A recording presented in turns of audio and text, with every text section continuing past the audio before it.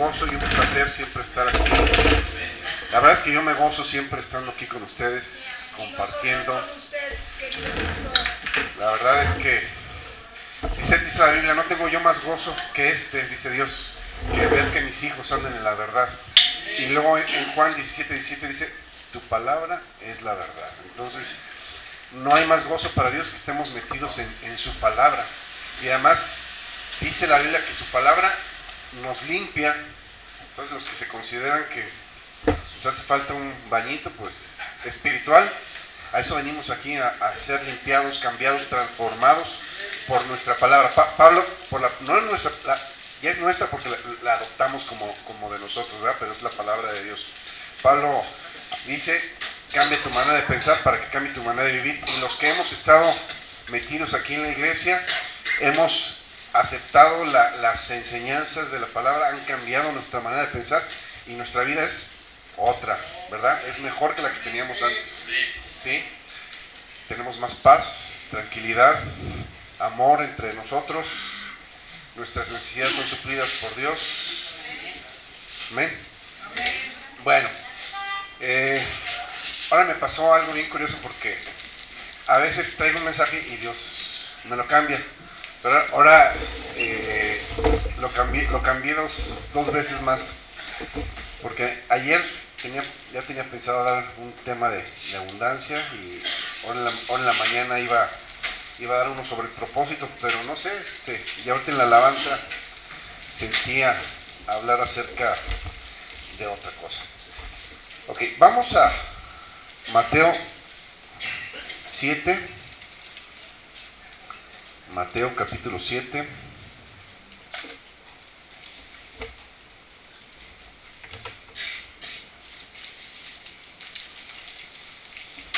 Aleluya.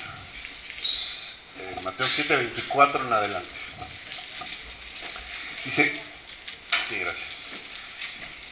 Cualquiera pues que me oye estas palabras, ¿y qué? Las hace, las pone por obra, porque a veces somos buenos para, para oír. ¿Cuántos se han quejado? ¿Cuántos tienen hijos adolescentes?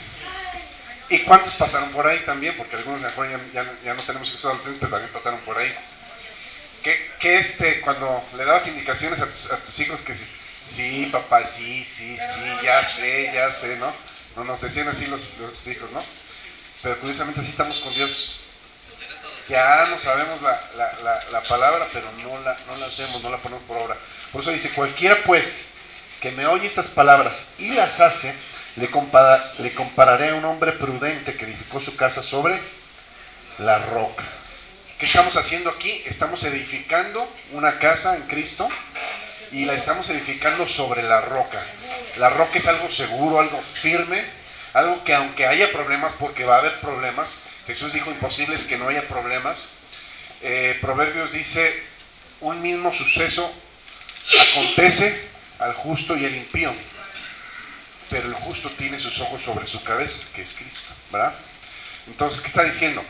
Que los mismos problemas que teníamos afuera, los tenemos aquí adentro a veces, ¿verdad? Pero la diferencia es que ahora tenemos en quién confiar, quién suple nuestras necesidades y quién nos ayuda a salir adelante. Antes nos hacíamos bolas nosotros solitos con los problemas. Y ahora, en Cristo, los problemas se ven más chicos. Porque estamos sentados en lugares celestiales con Cristo y entonces los problemas ya no los vemos de la misma dimensión como los veíamos antes. Por eso dice, va a haber problemas, porque a veces eh, en algunos lados se ha enseñado, no, pues recibe a Cristo y todos tus problemas se acaban, no. Siempre va a haber, Jesús dijo, imposible es que no haya problemas, pero son los mismos que teníamos antes, los mismos problemas. Antes no teníamos a lo mejor la conciencia de, de- Dios, la conciencia de Cristo, la conciencia de- de un ser que está, y lo voy a decir de este modo, que está al pendiente de ti, al cuidado de ti. ¿Sí o no? Así como, como nosotros como padres estamos al, al pendiente de los hijos y por eso las indicaciones y todo, sí, porque los amamos así, Dios está pendiente de nosotros. Dice que tiene contados los cabellos de nuestra cabeza. Imagínate, tiene cuidado de todo.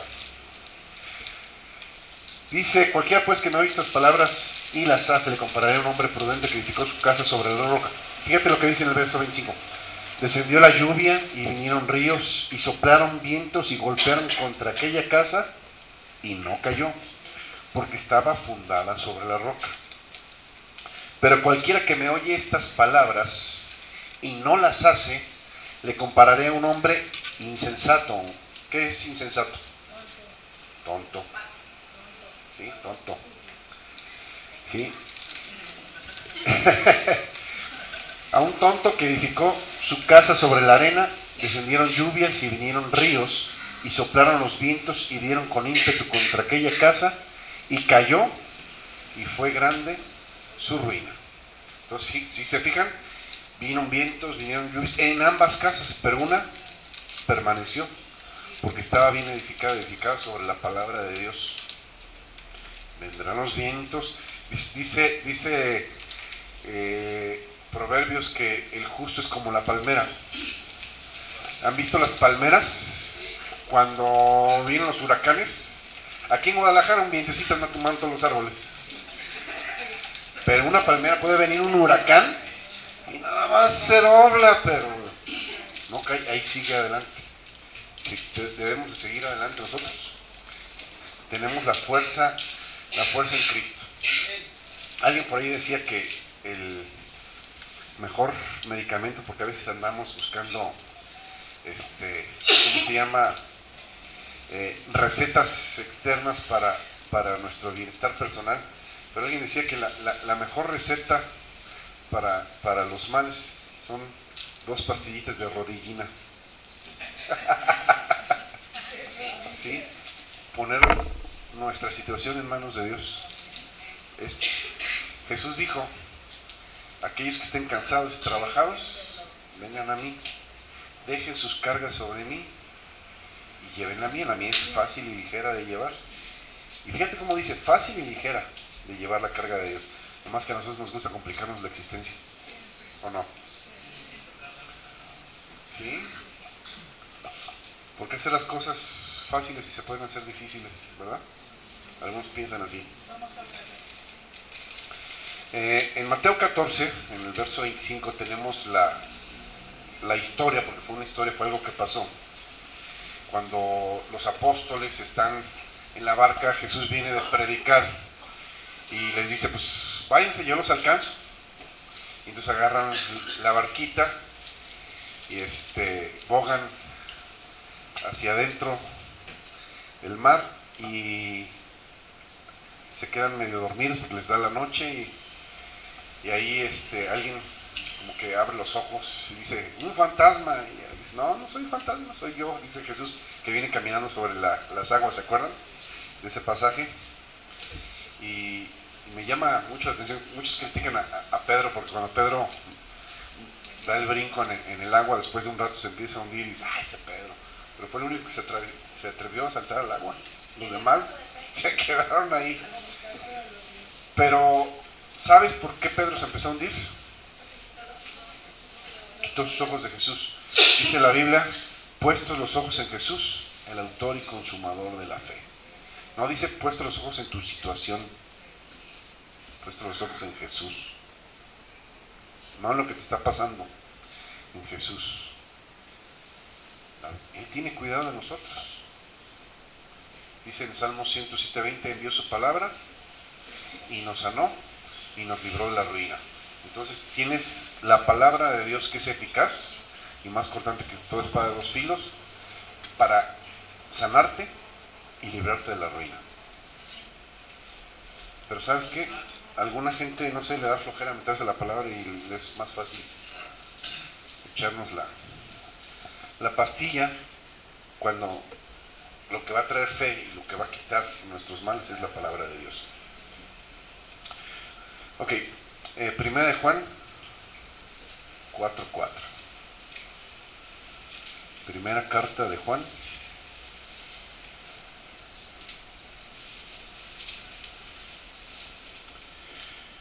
Capítulo 4. Verso 4. Dice, hijitos, ustedes son de Dios Fíjate, qué frase tan sencilla pero a la vez tan reveladora y tan poderosa. Nosotros, los que hemos recibido a Jesús como Señor y Salvador, somos de Él. Le pertenecemos a Él. Yo a veces he, puesto estos ejemplos, ¿no? De, se lo puse en, los jóvenes. Yo, a ver, ¿quién tiene mascota? ¿Se acuerdan? Que alguien me dijo, no, yo no, pero tengo dos hermanos. ¿Mandé?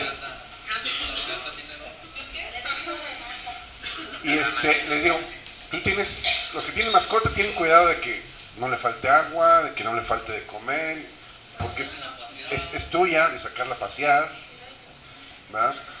Entonces, si uno tiene cuidado, cuanto más Dios no tendrá cuidado de los que, fíjate, de los que son suyos. Hijitos, ustedes son de Dios. Le pertenezco a Dios. El problema es cuando me quiero emancipar, es cuando vienen todos mis problemas. ¿Saben qué es emancipar? Este, cuando te quieres hacer el, muy grande, por ejemplo, en, Estados Unidos ha, habido casos de, niños, por ejemplo, el niño está bajo el cuidado de los padres hasta los 18 años legalmente. Y de repente un niño de 16 años dice, bueno, pues yo ya, yo ya quiero hacer mi vida como a mí me dé la gana. Entonces legalmente hacen un juicio y es un juicio de emancipación y de separación de los padres, porque ellos ya se sienten muy grandes. Y por eso les digo, cuando nosotros nos queremos emancipar de Dios, es cuando vienen todos nuestros problemas. Creemos que podemos con la vida, pero la verdad, ¿cómo nos fue antes de venir a Cristo con, en nuestras propias fuerzas y en, nuestro, y en nuestro propio entender? ¿Cómo nos ha ido este, en nuestra vida? Pues no muy bien, ¿verdad? Por eso Jesús dijo, separados de mí, nada, pues, tenemos que reconocerlo y, y no es que sea malo depender de Dios, es lo mejor que nos puede pasar, depender de Dios, porque Dios cuida de los suyos. Somos de Dios y si soy de Dios, Dios tiene cuidado de mí. Si no eres de Dios, bueno, entonces sí, ráscate con tus propias uñas. Dice, hijitos, ustedes son de Dios y los han vencido. O sea, somos, dice la Biblia que en Cristo somos más que vencedores. Se presentan problemas, pero en todo eso, dice, somos más que vencedores. ¿Qué nos separará del amor de Dios? Tribulación, hambre, angustia, enfermedad. Nada, dice, nada nos separará del amor de Dios. Lo único que te puede separar de Dios eres tú mismo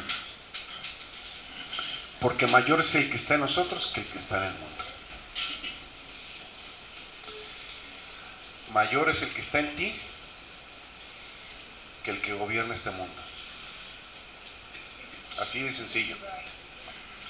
Por eso hemos dicho, no dependemos de lo que hay en el mundo, sino dependemos de Dios. La profecía que, que, que dio Maricú ayer, que leímos ahorita, ¿qué decía? Probablemente va a haber crisis afuera, pero nosotros no dependemos de lo que hay afuera. Dice la, Biblia en, creo que es Jeremías 17, 7 y 8, dice, bienaventurado aquel que confía en el Señor y ha puesto su confianza en el Señor, porque este, dice, será como un árbol plantado junto a corrientes de agua que da su fruto a su tiempo y su hoja no cae. Entonces, nosotros estamos como ese árbol junto a corrientes de agua. ¿Cómo están los, los árboles que están junto a las corrientes de las aguas? ¿Bien? Frondosos, con fruto y fuertotes, ¿no? Vamos ahí, ahí mismo, verso 16, ahí mismo, donde estábamos, verso 16 y 17. Voy a leer desde el 15.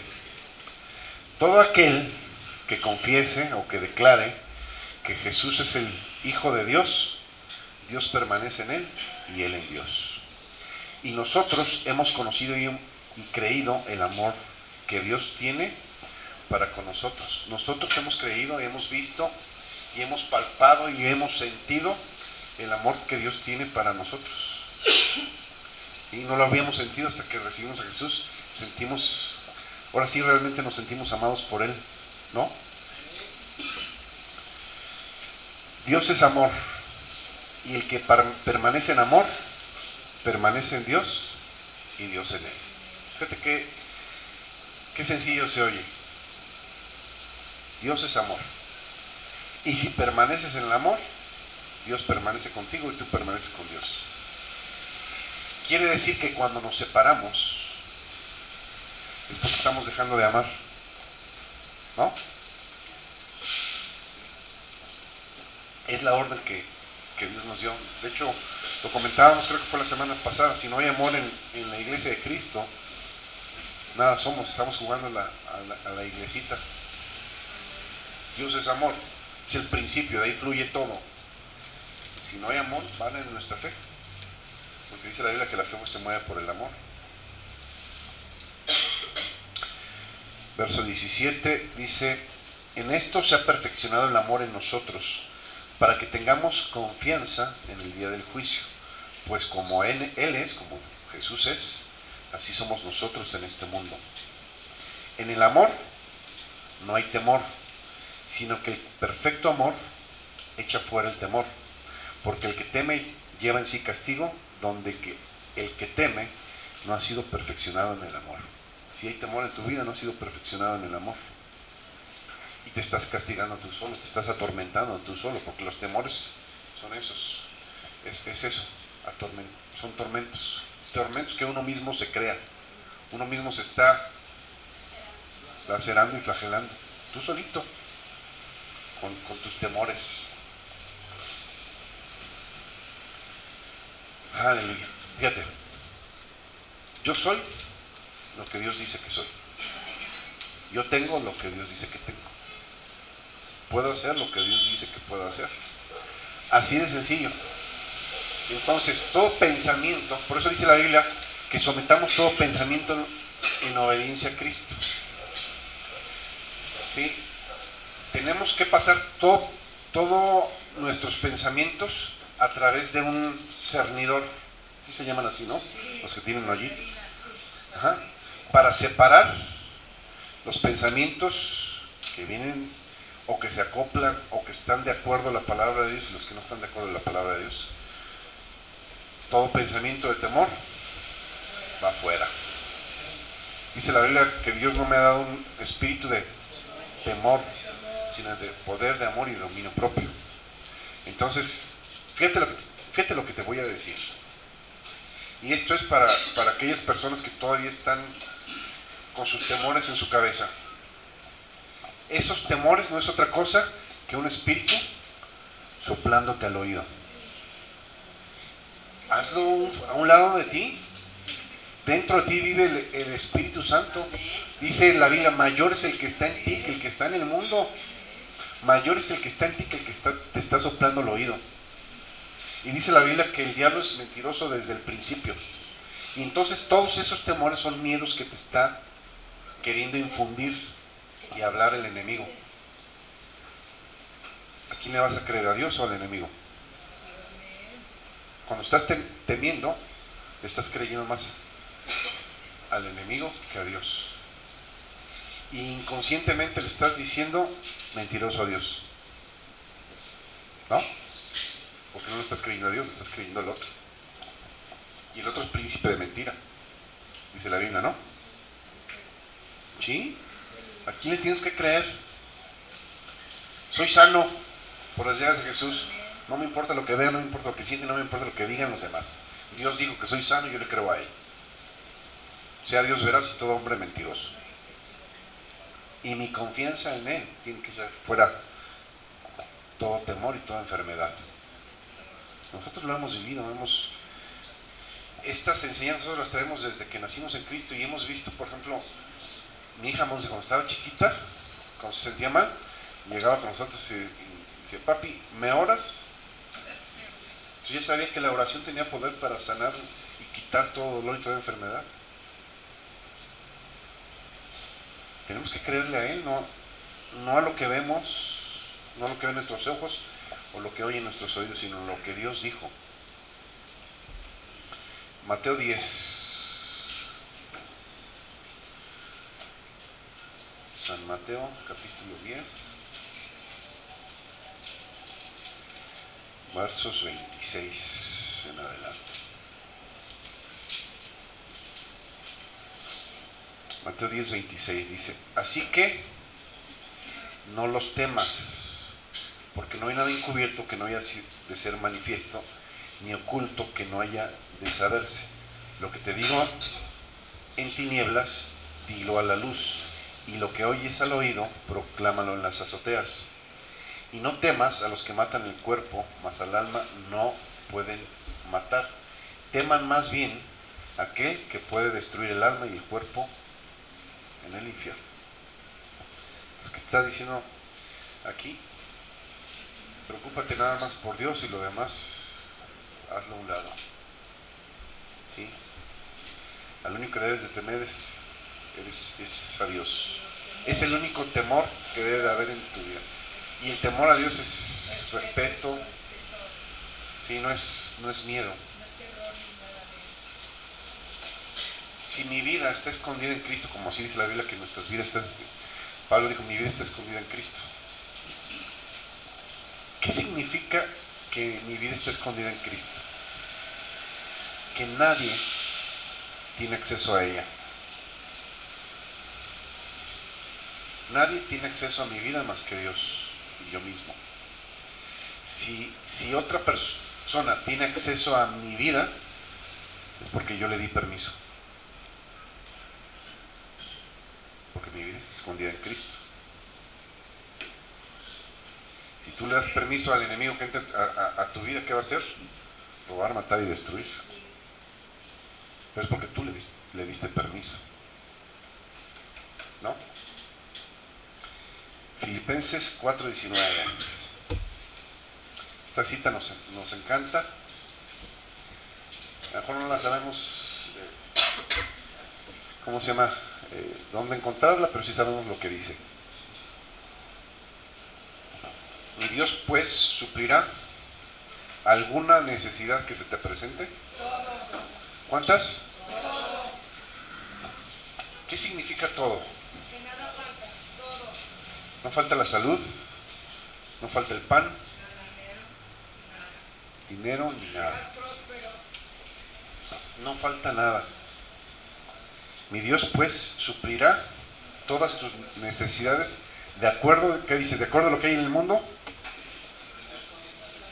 de acuerdo a sus riquezas, de acuerdo a las riquezas de Dios, no las riquezas que hay en el mundo. En el mundo se pudo haber acabado algo, pero Dios es el creador. Y de acuerdo a sus riquezas es que van a ser suplidas mis necesidades. Otra vez, Él tiene cuidado de cada uno de nosotros. Tenemos que cimentar nuestra vida bien en Cristo. Hay una, hay una cita en Santiago que dice este, que recibamos con mansedumbre la palabra implantada, la cual puede salvar nuestras almas. Y, ok, en el alma, para los nuevos, voy a hacer un, voy a irme un poquito para atrás. Somos hechos a imagen y semejanza de Dios. Dios es un Dios trino. Nosotros también somos trinos. Somos espíritu, alma y cuerpo. Mi espíritu, cuando recibo a Jesús, está conectado con el de Dios. Mi espíritu ya es de Dios. ¿Sí? Mi alma están mis pensamientos, mis sentimientos, y esa es la que tengo que sujetar a lo que Dios dice. Y mi cuerpo pues se va a sujetar a lo que mi alma diga. Si mi alma está sujeta a la palabra de Dios, mi cuerpo se sujeta a la palabra de Dios. Si, alma, si mi alma no está sujeta a la palabra de Dios, mi cuerpo no se va a sujetar a la palabra de Dios. Por eso dice en Santiago que recibamos con mansedumbre la palabra implantada que va a salvar nuestras almas. Y si en, mi, si en mi alma están mis pensamientos y mis sentimientos, quiere decir que las aflicciones en donde las sufres, en el alma. Las aflicciones las sufres en el alma y luego te alcanzan al cuerpo, pero empiezan en el alma. ¿El alma acá? En la, sí, ahí. ¿Por qué no está acá? No, no, no, acá. Sí, están tus pensamientos y tus sentimientos. Aquí es donde tenemos que trabajar. Esto es lo que tenemos que cambiar. Cambiando tu manera de vivir, cambia tu manera de pensar. ¿Cuántas veces hemos oído que el 90% de las enfermedades son psicosomáticas? El alma, Entonces dice, recibe con mansedumbre. O sea, ¿qué significa mansedumbre? ¿Sí? O- ¿Sí? ¿Sí?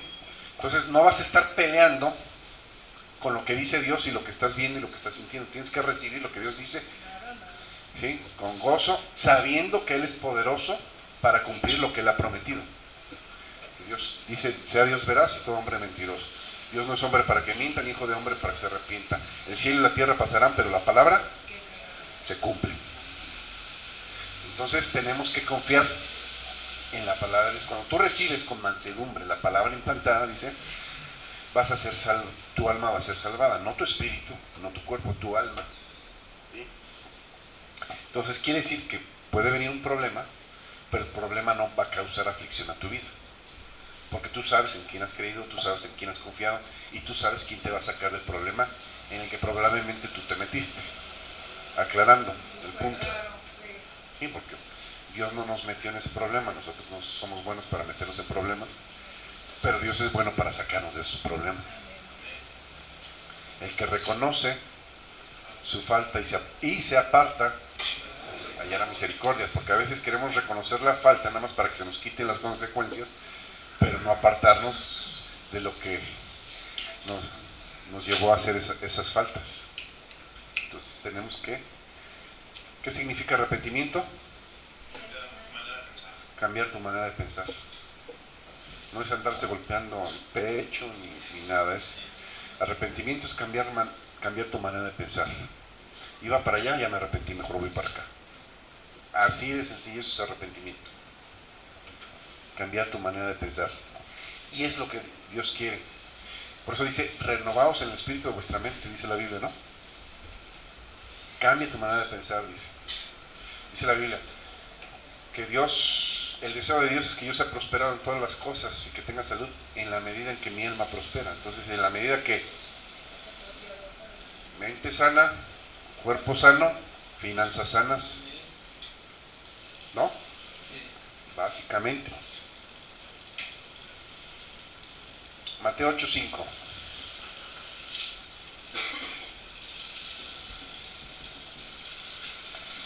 Mateo 8:5 dice, entrando Jesús en Capernaum, vino a él un centurión rogándole, diciéndole, Señor, mi criado está postrado en casa, paralítico, gravemente atormentado. Y Jesús le dijo, yo iré y le sanaré. Respondiendo el centurión le dijo, Señor, no soy digno de que entres bajo mi techo, solamente di la palabra y mi criado sanará. Así de fácil. Solamente con una palabra soy sanado. Solamente con una palabra soy prosperado. Solamente di la palabra. Fíjate, Dios te está diciendo ahorita, solo di la palabra y serás sanado. Solo di la palabra y serás prosperado. Solo di la palabra y serás cambiado. Y ser sujeto a la palabra, obviamente. Claro que sí, y eso yo lo creo precisamente, te estás, poniendo, di- dice el centurión, yo soy hombre bajo autoridad, pues yo también, entonces me pongo bajo la autoridad de la palabra de Dios, porque lo que tiene autoridad es la palabra, no yo, es la palabra. Hay, hay un caso en, en- en Hechos, ¿se acuerdan de los, de los hijos de Seba? Dice que en Hechos, en cierto lugar, Pablo les decía a, la gente que venía con demonios, de- demonios sal de él en el nombre de Jesús y el demonio salía. Y entonces unos cuates que andaban por ahí vieron lo que hacía Pablo. Ay, dice, ya sabemos qué, qué fácil, ya sabemos la manera de, de- de hacer dinero, dijeron ellos. Y entonces empezaron el negocito, ¿no? Primer día del negocio. primer cliente. ¿Sí? Agarraron su primer cliente, su primer endemoniado. Se metieron a la casa donde estaba el, endemoniado y le dijeron, demonio, te ordenamos en el nombre de Jesús. El que está predicando Pablo, que salgas de él. Y el demonio le dice, a Jesús conozco. Y sé quién es Pablo. Pero tú, ¿quién eres? Sí, sí. sí. No, imagínate. Sí. No, pero ¿qué pasó? Los encueró el demonio les puso una arrastrada y los echó a la calle. Dos golpeados. ¿Mandé? Por eso es importante la identidad. El saber quién tú eres en Cristo Jesús. Sí. Por eso, por eso venimos aquí a crear una identidad. Déjame decirte algo. Esto no es una iglesia. Es un centro de capacitación. La iglesia de Cristo somos todos nosotros y otros que no están aquí, que también reconocieron a Jesús como Señor y Salvador. ¿Sí? Jesús no vino a, tampoco es una religión, porque Jesús no vino a, a imponer alguna religión. No, el cristianismo es una forma de vida. Vino a enseñarnos cómo vivir, a darnos identidad, a decirnos, tú eres mi hijo amado en quien me complazco, a, a, enseñarnos que somos hijos de Dios y como hijos del rey tenemos autoridad y tenemos el poder para gobernar las situaciones que se presenten en tu vida. Que ya no seas como esos hijos de Seba, que antes las situaciones venían y te ponían unas arrastradas, que venía la enfermedad y te, te ponían una friega y te dejaban en cama. No, tú dices, me levanto en el nombre de Jesús. No el que conoce Pablo, el que ya conozco yo. ¿Sí? Para que el demonio que te tiene ahí en cama pueda decir, a Jesús conozco, pero pues ya te conocí a ti, con permiso, ahí nos vemos. Pero eso, depende de ti, de tu identidad. Por eso dijo Jesús, al que cree, todo le es posible. ¿Por qué? Porque dice la Biblia que es necesario que el que, crea, el que se acerca a Dios crea que le hay. O sea, si no crees en Dios, este, no vas a ver nada. Lo vimos la semana pasada, dice, dice que, que el hombre que duda es semejante a la onda del mar, que es arrastrada de un lugar a otro. ¿Cómo andan las ondas del mar? Y a mero lo agarro y ¡ay! A la otra, ¡ay! No lo agarro. Y nunca lo vas a agarrar porque estás dudando, necesitas fe. ¿Y qué es la fe? La certeza y la convicción. Déjame decirte una cosa. Aquellos que están padeciendo enfermedad, tienes que tener la certeza en tu cabeza y en tu corazón de que eres sano. No vas a ver tu sanidad en tu vida hasta que no tengas la certeza de que eres sana. Tu sanidad en tu vida hasta que no creas que eres sana aquí y aquí. Tener la certeza y la seguridad de que Dios te sanó. De que eres sana. Sí, tienes que declarar. ¿Sabes para qué muchas veces es la declaración? Estaba viendo para que te acuerdes. Y a veces muchos lo hacen para convencerse a ellos mismos porque no están convencidos. ¿Sí? Para convencerse a uno mismo, porque el que está... Jesús cuántas veces le decía al demonio que saliera? A la primera una salía. ¿Sí? ¿Por qué? Porque tenía la convicción. Y nosotros, órale, y, yo, y repito y repito, pues hasta que te caiga el 20 y te caiga la convicción. Cuando estés convencido lo vas a ver. En otra parte dice, si no crees, no verás la gloria de Dios. Si no crees, no verás la gloria de Dios. Solamente hasta que creas. Porque al que cree todo es posible. ¿Sí? Yo me acuerdo, una, hay, hay una promesa que dice en Hechos 16:31, cuando Pablo está encarcelado y viene ese terremoto que rompe las cadenas, ustedes conocen la historia, digo los que ya leyeron la Biblia. Y entonces él, eh, sale el, carcelero bien espantado porque ya se le fugaron. Y este, cuando ve las, puertas abiertas, saca la espada y dice, ahorita se voy a hacer el harakiri. Y le dice, él dice Pablo, hey, no te hagas daño, aquí estamos. Y cuando lo ve que ahí está, los saca de la cárcel, los lleva a su casa, les da de comer, les limpia las heridas. Y le dice el carcelero, ¿qué necesito hacer para ser salvo? cree en Cristo Jesús y serás salvo tú y toda tu casa. Yo me acuerdo que una vez me decía un, un, amigo mío, él empezó una iglesia antes que, yo, me acabo de enterrar que ya la, ya la cerró, está congregando en otra iglesia, pero me dicen, no, dice mi esposa, me dijo, eso de que eres salvo tú y tu casa, no es cierto porque ella no, veía todavía la promesa cumplida de, de, su familia.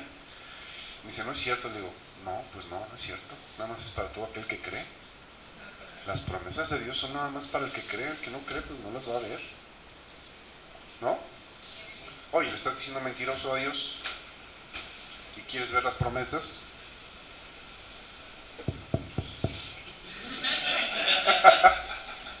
¿No? Somos curiosos los seres humanos, ¿no? Juan 15, 7, ¿qué dice? ¿Cómo que sabe? tenemos los teléfonos, tenemos los que no traen el, el, el, el papel, ahí está. Fíjate, qué sencillo, ¿no? Si permaneces en, en, Jesús y las palabras de Jesús permanecen dentro de ti, dice, pídeme lo que se te dé la gana, que será hecho. Es un hecho. Es un hecho, pero la verdad es que no permanecemos en Jesús. Somos, somos visita. ¿Cuál es la diferencia entre la visita y el que vive en casa? La visita pasa, está un ratito y ahí nos vemos. ¿No? ¿Cuántos de nosotros somos visita? ¿Y cuántos?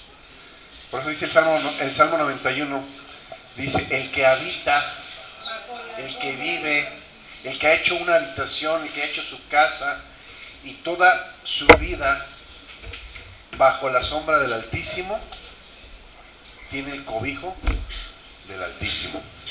Y no temerá el temor, el terror nocturno, no, no temerá ninguna flecha que ni, ni pestes, ni nada que le puedan hacer. Puede haber un terremoto, puede haber lo que sea, dice caerán a mi lado mil y diez mil a mi diestra, pero a mí Nada me pasará. nada me llegará, porque he puesto a Dios como mi confianza, dice ahí.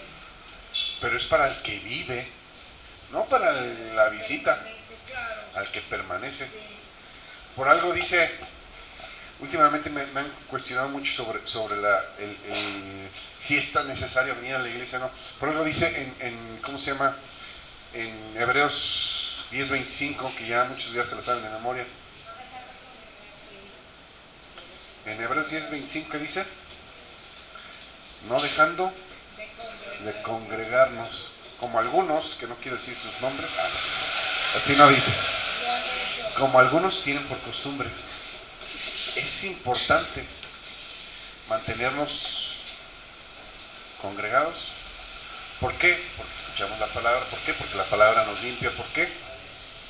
Porque la, la, la comunión con Dios y la palabra de Dios trae fe a mi vida. Porque se necesita fe para ser sanado. Se necesita fe eh, para que tus necesidades sean suplidas. Se necesita fe. Y la fe viene por es- escuchar la palabra. ¿A qué vienes aquí? A escuchar lo que yo pienso, lo que yo creo, lo que yo siento, a escuchar la palabra de Dios. Así de sencillo. El, di- el día que no hable de lo que Dios dice aquí, me dice, ¿sabe qué? Este, pues, ¿Y eso qué? ¿De dónde viene o qué? ¿Es lo que usted piensa? Porque yo no vengo a predicarte lo que yo pienso, sino lo que Dios dice. ¿Sí? Gloria a Dios. Vamos a seguir adelante en Juan 14, 12. Juan 14, 12. Jesús. ¿Y quién, quién es el que está hablando ahí? Es Jesús, ¿no? En Juan 14, 12 es Jesús hablando y dice, el que cree en mí, las mismas obras que yo hice, él las hará y aún mayores porque yo voy al Padre. ¿Eso qué es? Es una promesa de Dios en la Biblia. ¿Para quién? Para todo aquel que cree. Porque la verdad es que nos decimos creyentes. ¿Sí? Hay, un dicho que dice, que del bicho al, hecho, ¿o qué? O al trecho. Del dicho al hecho hay mucho trecho. Jesús decía, este pueblo de labios, tiene que haber esa convicción. Te voy a decir algo. Los que son más fieles en congregarse, te puedo apostar que sus convicciones son más firmes que los que vienen de vez en cuando. Te lo puedo apostar así segurito, que sus convicciones y ya no te mueven. nada te mueve.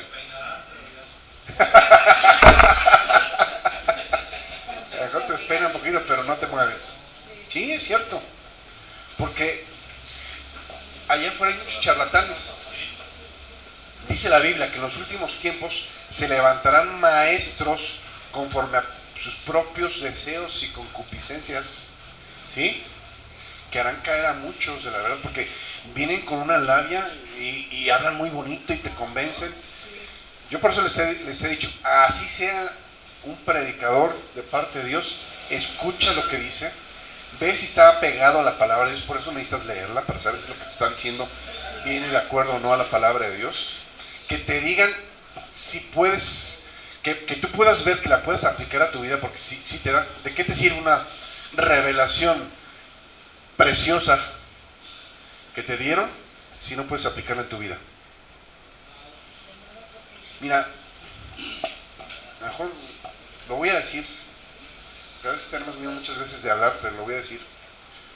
Eh, hay a veces una como competencia ¿no? entre los predicadores a ver quién se saca la revelación más sacada de los, más jalada de los pelos.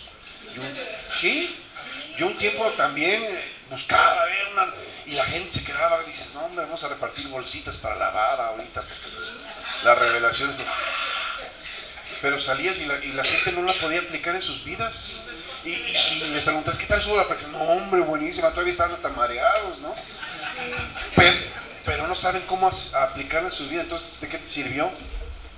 La Biblia dice, sean hacedores de la palabra. Entonces, lo que escuches, debes de ver si puedes aplicarlo o no en tu vida. Si no lo puedes aplicar en tu vida, por muy preciosa que esté la predicación, no te sirve para nada. O sea, toda la predicación debe de ser acorde a que la podamos. Claro. Claro, tienes que aplicarla en tu vida. Por eso dice la Biblia, sean hacedores de la palabra y no te- tan solamente oidores. Quiere decir que fue lo que leímos al principio. Jesús dijo, aquel que escucha estas palabras y las hace. Entonces, si no la puedes hacer, pues no te va a servir de nada, por muy preciosa que, que tenga. ¿Y sabes qué pasa con esas predicaciones preciosas? A los dos días ya las ya se te olvidaron. Yo me acuerdo hace hace unos años que hubo un congreso, vino un predicador y, hombre, muy buen este eh, orador, eh, conferenciante, dio unas eh, motivador y la gente, wow, y fueron varios de aquí. Y yo me acuerdo que les dije, ya los agarré en una célula entre semana y digo, ¿qué tal estuvo la palabra de fulano de Abraham? No, buenísima. Ajá. ¿Y de qué habló? ¿Eh? Sí, ¿de qué habló? Estuvo buenísima, ¿no? ¿De qué habló? No, pues, y por ahí alguien me dijo, no, pues habló de esto, ¿y cómo lo vas a aplicar en tu vida? No, pues no, no, no sé. O sea, no te... Sí, no, sí. No, no, no te dio las herramientas para poderla aplicar acá, en tu vida. Y si no la puedes aplicar, de nada sirve la palabra, se tiene que aplicar, la tienes que vivir. Por eso hablamos el principio que el cristianismo es una religión, es una forma de vida, te enseña a vivir en el día a día. ¿De qué me sirve escuchar una buena predicación si no me está enseñando cómo llevar pan a la mesa en mi casa? ¿Cómo, cómo enfrentar los problemas del día a día? ¿De qué me sirve la predicación si no, si no me está enseñando, si no me da las herramientas necesarias para, para vivir y salir adelante? Para poder rechazar tanto charlatán que hay también. No, y que vinieron los de no sé qué y los de no sé dónde. Ay, ya me confundieron. O sea, tienes las herramientas en Cristo para decir. No, a mí, a nosotros nos ha pasado al revés, que de repente te llegan los testigos de Jehová y dicen, no, sabe que ya mejor me voy, usted me está confundiendo.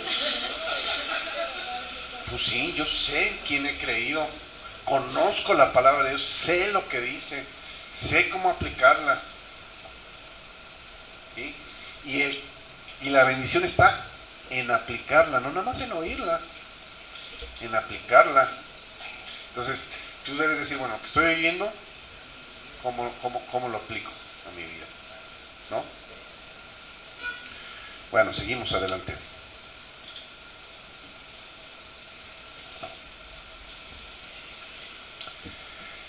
Segunda de Pedro, capítulo 1.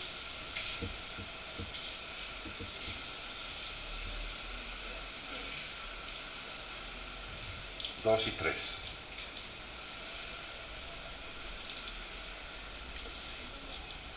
Segunda de Pedro, capítulo 1, versos 2 y 3. Dice que todas las cosas que pertenecen a la vida y la piedad nos han sido dadas por su divino poder mediante el conocimiento de aquel que nos llamó por su gloria y excelencia. Fíjate, hay mucha gente que viene y te dice las cosas preciosas que te pertenecen como cristiano, pero no te dan la capacidad de bajarlas al, terreno físico. Porque toda palabra tiene un contexto. Y somos muy buenos para, para sacar a veces textos fuera de contexto. Yo, yo creo que les he platicado aquí. Tenemos unos vecinos, bueno, viven pasando el parque donde nosotros vivimos en la misma calle. Y este, se dejaron de congregar y entonces este, yo fui a hablar con ellos para animarlos que regresaran pues, a la iglesia. Y no tenía que ser con nosotros, puede ser con, con alguien más. O, y, y- ellos estaban sentidos porque no habían visto algunas promesas cumplidas en su vida, pero cada promesa tiene un una condicionante, por eso digo, tiene su contexto. Y, y la esposa me decía bien enojada, es que dice Dios que Él cumplirá las peticiones de nuestro corazón y no lo he visto en mi vida. Digo, así no dice la Biblia. Sí, así dice, no, digo, así no dice. Dice, deleítate en el Señor y Él cumplirá las peticiones. Pero tú nada más quieres la segunda parte. Pues oye, dice, ¿cuántas veces les he dicho? Eh, Juan 6.33, perdón, sí, eh, Mateo 6.33, busca primeramente el reino de Dios y todas las cosas serán añadidas. Entonces decimos, oye, pues Dios dice que todo me será añadido y no lo veo. No, no, no, no, no, espérate, la primera parte. Que Dios sea lo primero en tu vida. Que la palabra de Dios sea lo primero en tu vida. Busca primero, no segundo, no tercero, no cuarto, no, lo primero. Y entonces, cuando sea lo primero, pues yo tendré cuidado de que te llegue a ti lo que tú necesitas. Y entonces somos buenos para sacar esos textos fuera de contexto. Como esta, esta Biblia, esta, perdón, esta, esta palabra dice, todo me pertenece, todo me ha sido dado por, ¿sí? por Dios. Todas las cosas que pertenecen a la vida y a la piedad ya son mías. Me han sido dadas por su divino poder. Pero la segunda parte, mediante el conocimiento de aquel que me llamó por su gloria y excelencia. ¿Quién me llamó? ¿Qué tanto lo conoces? Mediante el conocimiento de aquel. ¿Qué tanto lo conoces? Si no lo conoces, ¿cómo vas a tomar las promesas que Él te dio? Si no conoces el testamento, ¿cómo vas a reclamar lo que la herencia que te corresponde, que te fue dejada? Pero somos flojos, ¿no?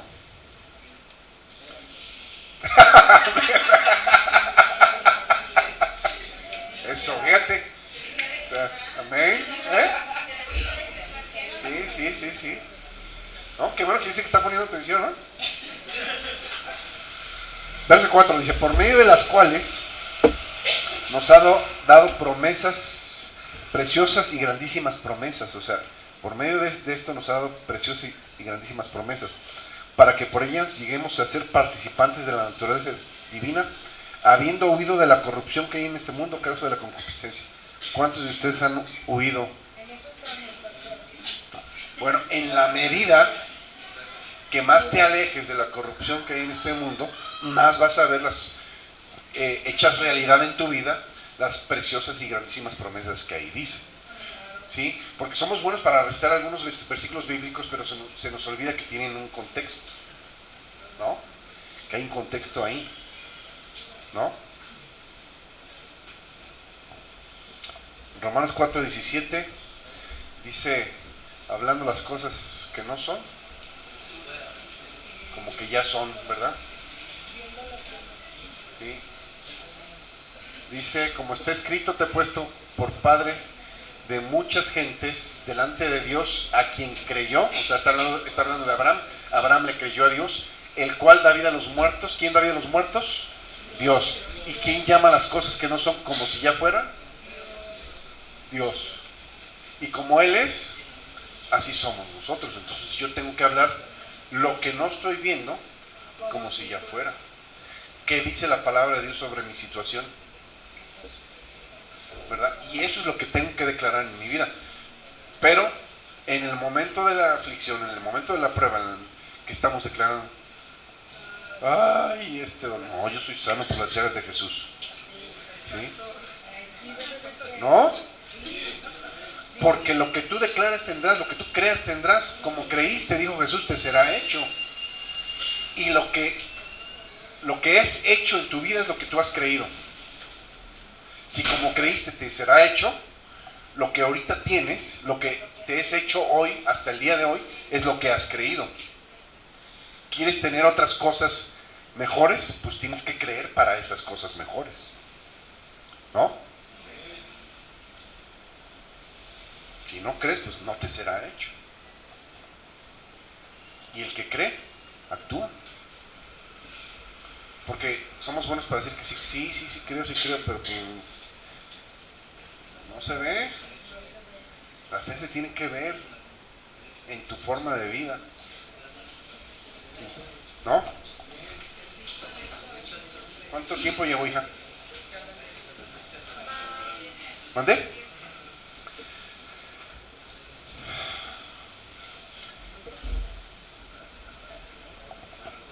A ver, eh, Jeremías 44, 16. Jeremías 44, 16.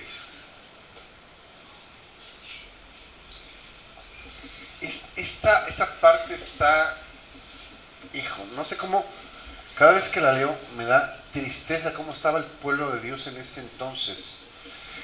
Eh, el profeta Jeremías le está hablando al pueblo, le dice que tienen que creer en Dios, tienen que deshacerse de esos falsos dioses. Y a veces tenemos como falsos dioses los monos, pero no nada más son los monos los falsos dioses. Todo aquello que pongas en, primer lugar antes que a Dios es un falso dios. La enfermedad puede ser de un falso dios. Ay, ay, ay. Porque le estás creyendo antes que a Dios. La pobreza puede ser un Dios. ¿Sí? ¿Dónde? El dinero es un falso Dios. Entonces fíjate lo que dice aquí. Y está bien grueso. Dice, la palabra que nos has hablado, le dice, le dice el pueblo a Jeremías, en nombre del Señor, están reconociendo que la palabra viene de, viene de parte de Dios. Y fíjate lo que dicen, la palabra que nos has hablado en nombre del Señor, no la oiremos de ti sino que ciertamente pondremos por obra toda palabra que ha salido de nuestra boca para ofrecer incienso a la reina del cielo, derramando las libaciones, como hecho, hemos hecho nosotros y nuestros padres y nuestros reyes y nuestros príncipes en las ciudades de Judá y en las plazas de Jerusalén, y tuvimos abundancia de pan y, estuvimos alegres y no tuvimos mal alguno. Les, yo creo que Jeremías les ha dicho, ¿están ciegos? ¿Están como esclavos en, en, en Babilonia? ¿Me están diciendo que están mejor con la palabra que, que ustedes están declarando y adorando a otros dioses, si están como esclavos, ya quítense esa venda de ceguera. ¿Cómo es que están diciendo que estaban mejor con sin, Dios que con otros dioses? O sea, el enemigo le, le, hace creer a la gente que está mejor como, como está que con Dios. Es una falsa paz, es una falsa seguridad y es una, como dicen, mentira del diablo. ¿Sí? Está grueso, o sea, la palabra que nos has hablado de parte de Dios, no la oiremos de ti. ¿Qué significa el no la oiremos de ti? ¿No estaban oyendo? No, no, vamos a hacer caso a lo que me estás diciendo. Te pregunto, ¿vas a hacer caso a lo que Dios te está diciendo hoy? ¿O vas a seguir con tus propias palabras, con tus propios conceptos, con tus propias ideas? Creyendo lo que has creído toda la vida que te ha llevado a la ruina. ¿No? ¿No dicen amén? O por lo menos hay, ay, ay, o hay de mí, o no sé.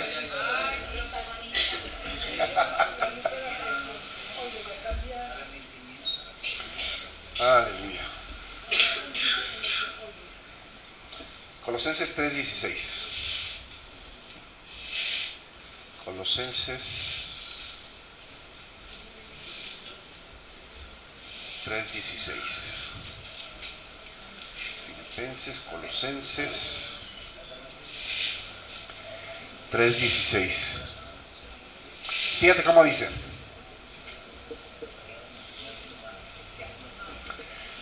Fíjate, dice, las enseñanzas que oyes en las novelas. ¿No es así? ¿No, verdad? Ay, perdón, creo, creo que traigo otra versión.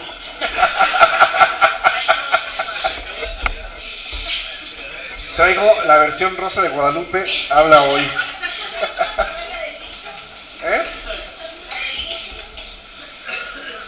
Que te dice, la palabra de Cristo more escasamente en sus vidas, abundantemente. Pues no, abundantemente. La palabra de Dios es abundante y es poderosa para poner por obra y para cumplir aquello para lo que fue, fue enviada. La palabra de Cristo mora en abundancia en ustedes, enseñándoles y exhortándoles unos a otros en toda sabiduría, con toda gracia en sus corazones, al Señor, con salmos e himnos y cantos espirituales. ¿Cuál es, tu- cuál es el canto que tienes en tu casa? Ay, ay, ay, ay de mí. Parecen esos cantos, este, ¿cómo se llama? De los del oriente, ¿no? Ay, ay, ay. Um, yo no sé qué tantas cosas hacen, ¿no? Ya voy a, aca- ya voy a acabar. No, no cabe, no, no cabe. Isaías- Isaías 57, 19. Debería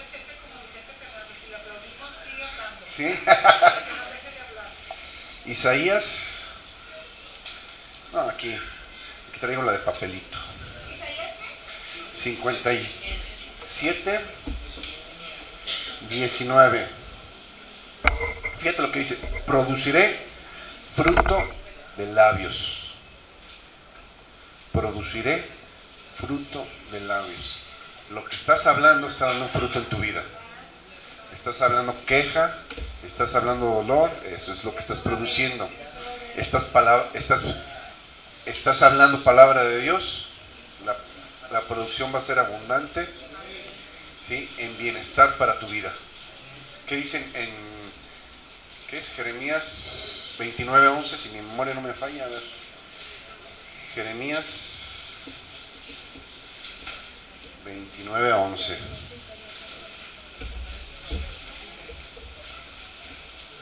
¿Qué dice ahí? Porque yo sé los pensamientos que tengo para ti. Fíjate, hay que personalizar la Biblia. Yo sé los pensamientos que tengo para Miguelito, dice ahí, ¿no? es ca- cada uno tenemos que personalizarla.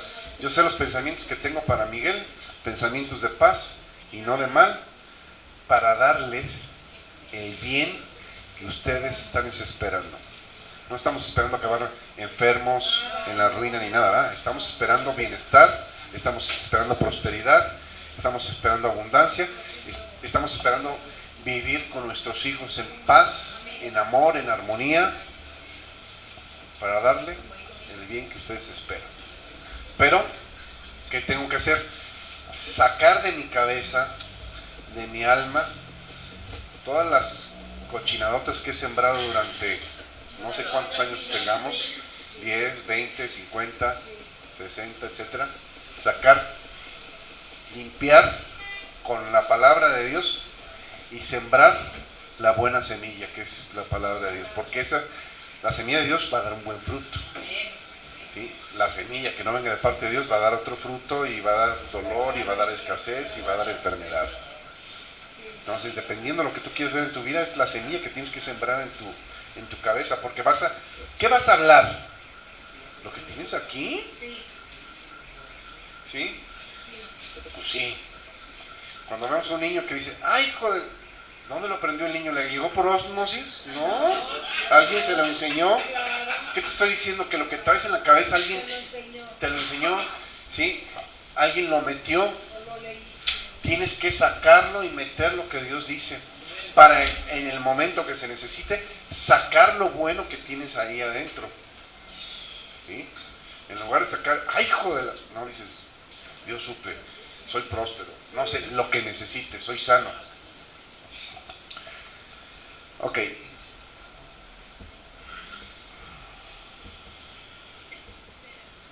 Isaías. ¿Cuándo terminamos? Isaías 54, 17. Isaías 54, 17.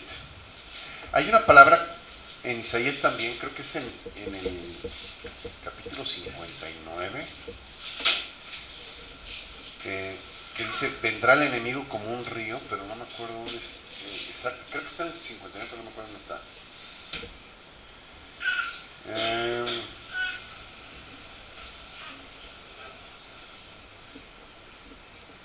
sí, eh, eh, 59, 19. Ahorita les, les dije 54, pero ahorita vamos dos citas más. 54, 59, 19.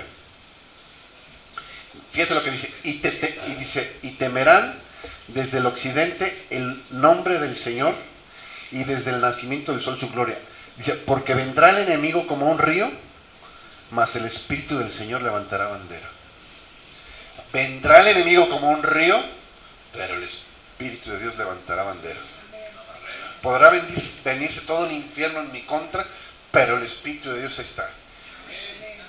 Ahí como barrera, como, escudo, como protección. Se venga lo que se venga. Entonces aquí le tengo que creer. Porque lo que creas vas a tener.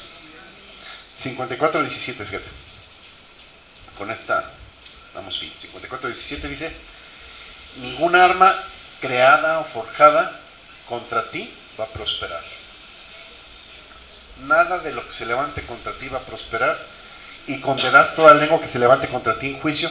Esta es la herencia de los siervos de Jehová y su salvación de mí vendrá. Esta es la herencia de los hijos de Dios. Él es mi salvación, Él es mi herencia.